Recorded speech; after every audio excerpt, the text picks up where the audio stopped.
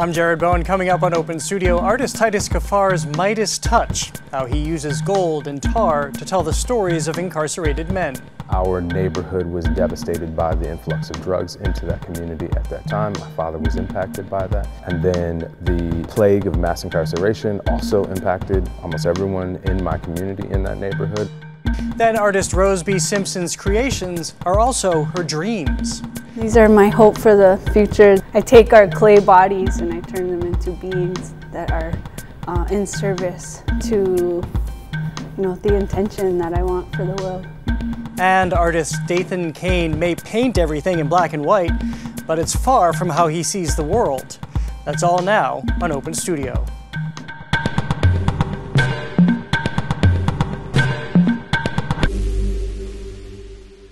First up, I recently spoke with artist Titus Kaphar about the Jerome Project, his exhibition at the Isabella Stewart Gardner Museum.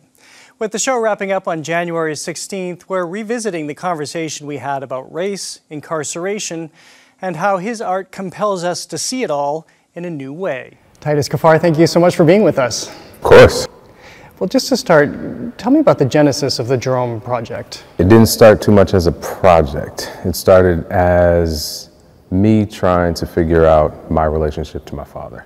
I think a lot of times when people see this work, it's really easy to think of it within the social and political context of this moment, but fundamentally it was an attempt to find a way through my process to heal my relationship with my father. When I started doing the research, research, when I looked my father up on Google, I found his mugshot and uh, 97 or so other black men with exactly the same first and last name and their mugshots. And that's how it all began. And has it always been natural for you to, to process things and respond to things through art? If I can figure out a way to get it into the studio, get it onto canvas, I feel like I have more control over the process of absorbing that information. So if it's on canvas, I can look at it, I can turn it upside down, I can look behind it. In some ways, I guess it's about controlling the problem. Do you know why that is? Because I'm a control freak. I mean, it seems pretty obvious to me.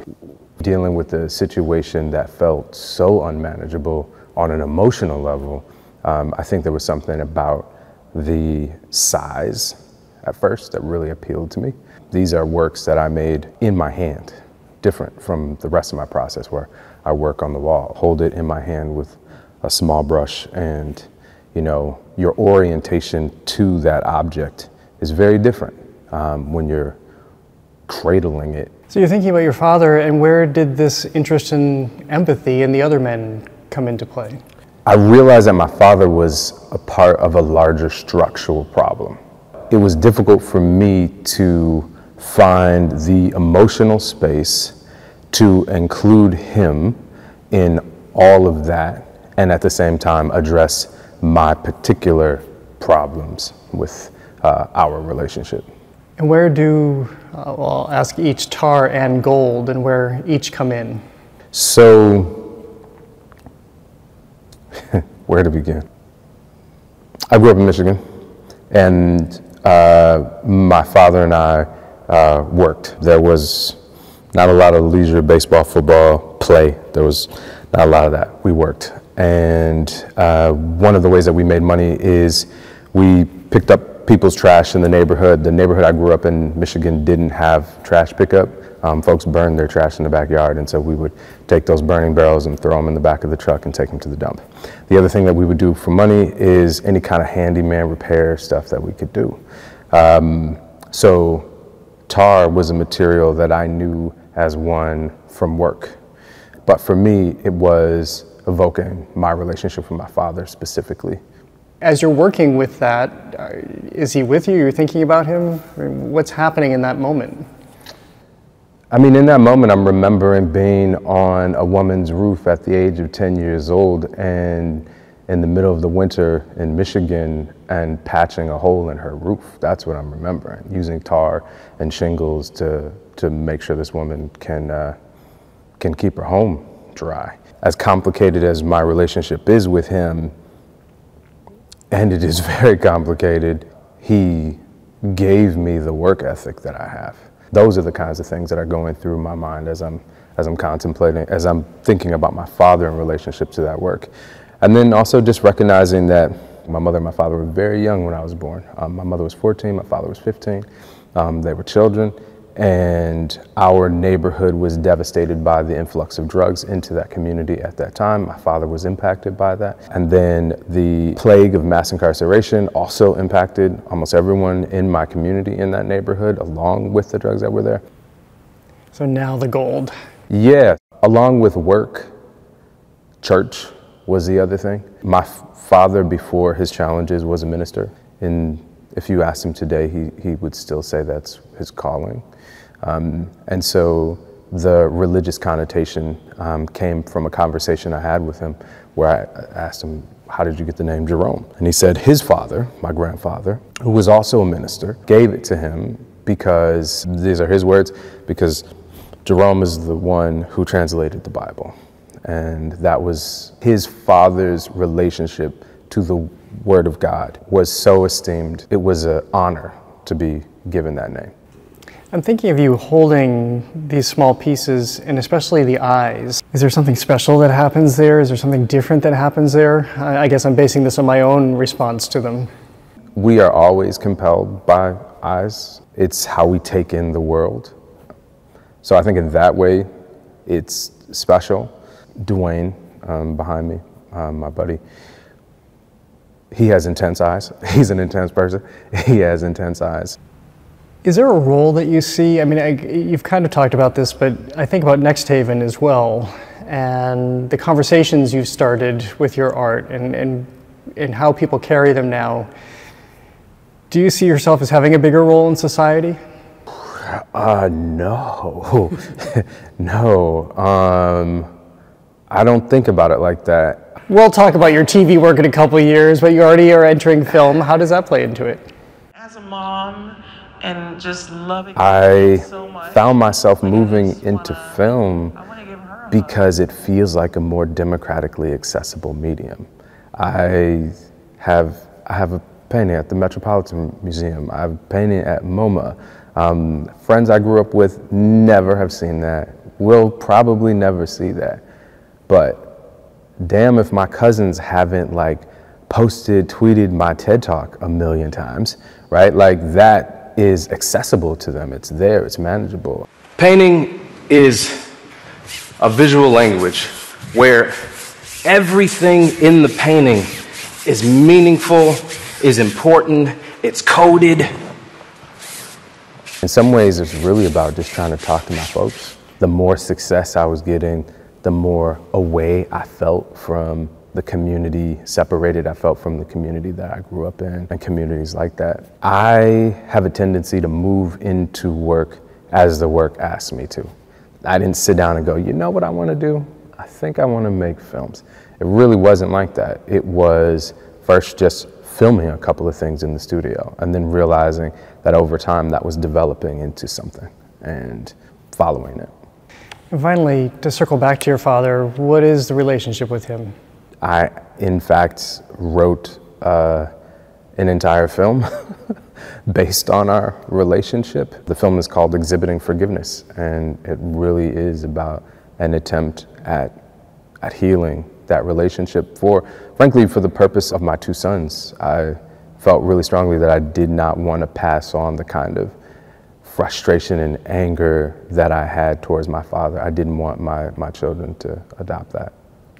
Well, Titus Kaphar, it has been such a great pleasure to speak with you today. Thank you. No problem. Nice to talk to you too.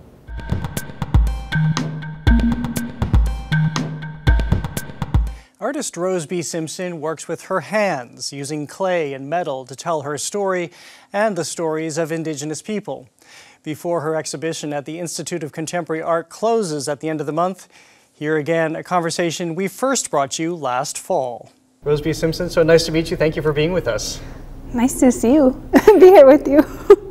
Who are these sculptures? I say are rather than what. Do you are they what are they to you? Ah, these are my prayers.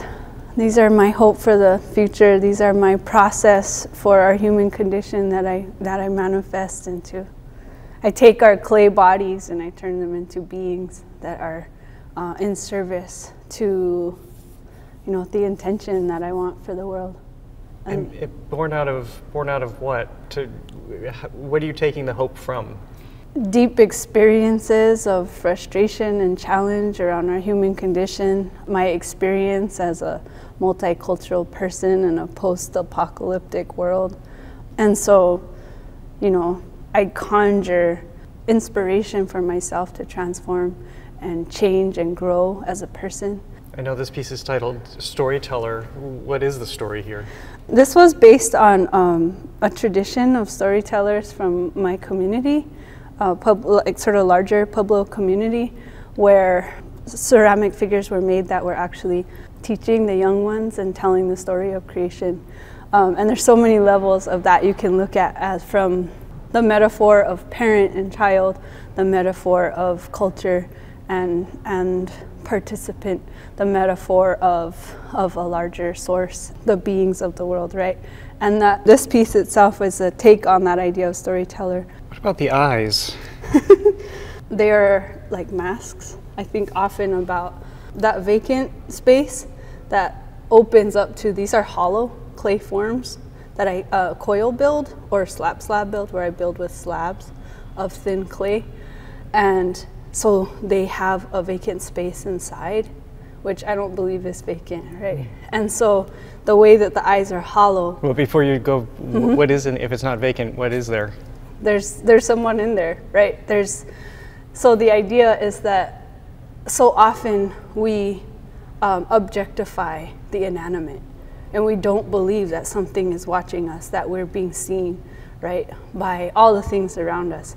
And these pieces act as examples of how um, the inanimate is also alive. And I, and I, interrupted you just as you were talking about the eyes and mm-hmm. what, what happens there. the, I have left them open because from the idea of masks, um, I'm leaving space for, for that vision. So we witness these pieces, they're also witnessing us. You've titled this piece The Remembering. Uh, what is it conjuring? This piece was made when they were first finding the bodies of indigenous children around the boarding schools and started bringing up uh, some of that heavy history around those lost children. And it's something, you know, colonization and, and genocide is something that you kind of, in a post apocalyptic world, you sort of live with, you know?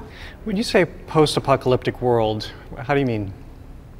Um, the indigenous people of, of, the New World, the Americas, and I think around the world, um, who have been victims of colonization um, and genocide, we're living in a post-apocalypse. So the world that we see now, that we consider modern, is, is an apocalypse for many cultures and peoples. You give your beings signs that we see here. Yeah. What are those? And I see them on your fingers. They're intentions. And oftentimes when I put my prayers, my, my work out into the world, I need it to stay protected, you know, and I need them to, to do their work uh, safely. And oftentimes those are the markings. Um, this, these are stars, and these are for protection. Is it significant to you that you can I, I, can see your hand here, literally. Well, pretty much yeah. in, the, in, in the texture. So when I'm making these, I am leaving the marks of my process in the surface of the clay intentionally to honor the making of ourselves. I want to be seen as a person who's working on building myself. I'm not there yet. I'm not there yet. There's an immense physicality to your work, working con in construction, doing automotive work. You build cars, very physical work. I would assume that's very important to you. So as I think about this, and I think metal to me is cold and unforgiving in terms of shaping. You have to work with it. It's not like clay. So how do you balance those two?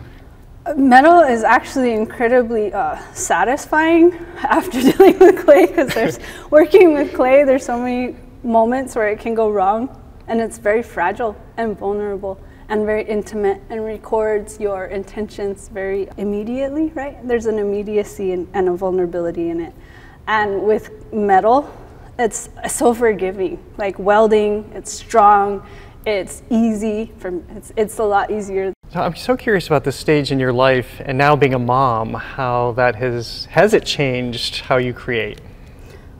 Yes, very much so.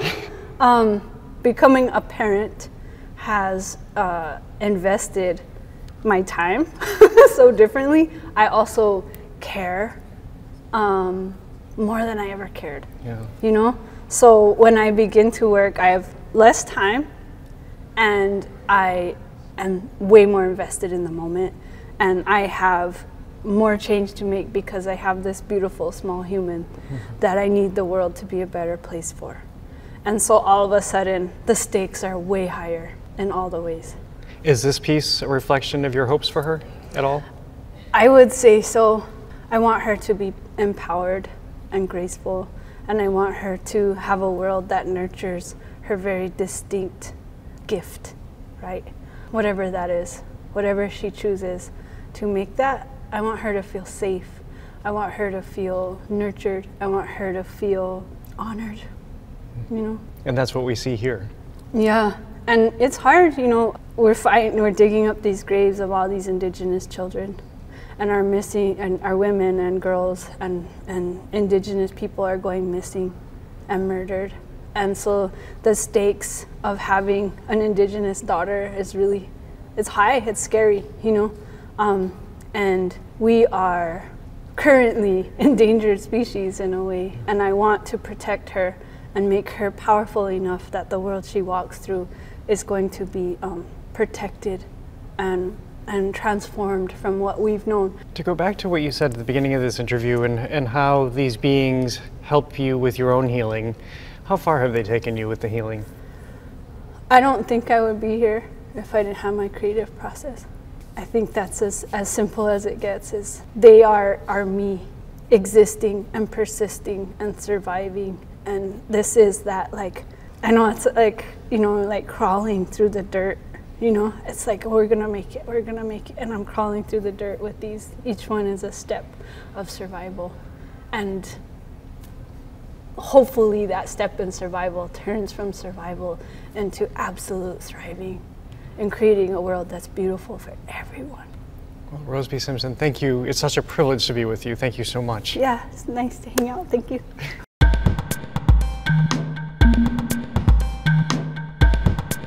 Next, Dathan Kane, a contemporary abstract painter based in Hampton, Virginia, paints bold black and white murals that capture life's complexities and the human struggle to navigate them. When you think of art, you tend to think of color. But black and white to me represents the basis of this form of expression. What can I do with pencil? What can I do with pen? What can I do with charcoal? It's just something that really speaks to me, and I want to see how I can push that forward. I've always known I wanted to be an artist. I grew up as the only child, so started doing a lot of drawing. It was like a form of entertainment.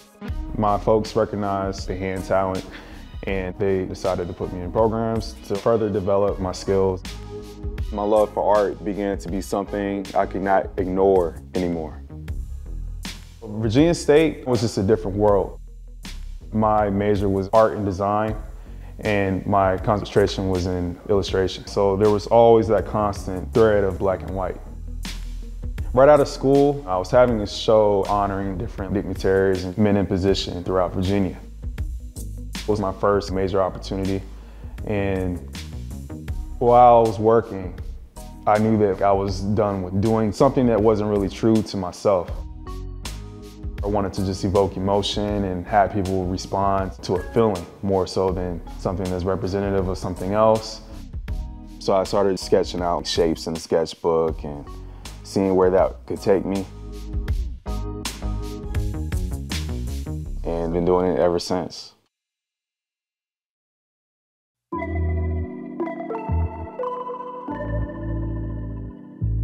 While creating, I'm in this place of peace I'm not thinking about anything besides painting. And it allows me to break free from the world for a second. It's therapeutic, it's expressing myself in that way.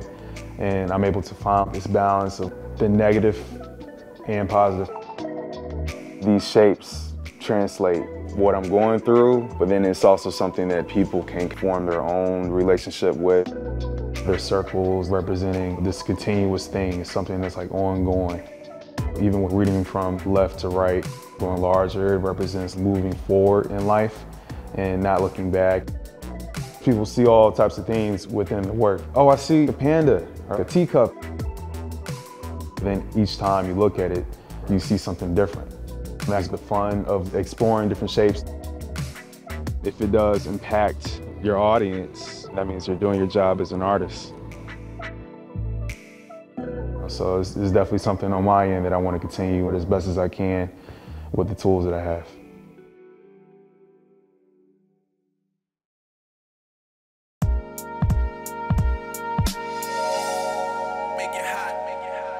With working on murals, it's the small areas that make the difference. Muralists have a different mindset. It can be challenging at times, but then that's why we're doing it. I want it to appear flat as possible. You have bolts and curves and different things. So this is the surface telling me what to do. Projects like this, it's extremely important because it's bringing art directly to the public. So having that exposure, something that can encourage or inspire the next artist. What way can I put my work out there and have it be seen over and over and over? Katherine Johnson, my great aunt, she never really spoke on things she accomplished with NASA. After seeing the movie and realizing the impact that she left, how can I honor that legacy? What can I do? I recently completed a mural in downtown Hampton. I titled it Next Door, it being close by to the Air and Space Center.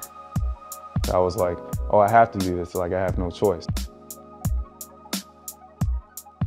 I've always wanted to hit different markets so people are able to see you being consistent. At Canvas Coffees, did two wall murals and then a full installation of paintings, works on paper, works on canvas, and then also designed one of their bean bags. I have an installation in the Dollar Tree headquarters at Summit Point. There's a total of six works that were sold to their collection. And You can see them on display. And I'm also super grateful for all of the work I've been able to accomplish with my peers at the Contemporary Arts Network.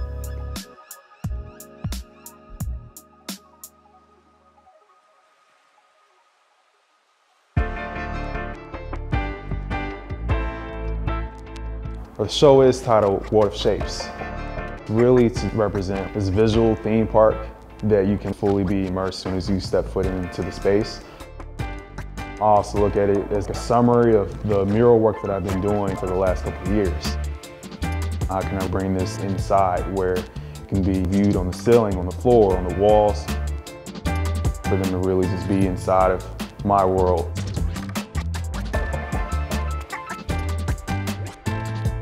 It allows me to see that things are possible. You're able to get into spaces that you may not think that you could.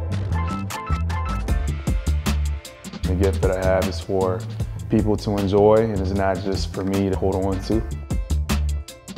Thankful for collectors and the different companies want to be a part of that story, so it's something I never take for granted.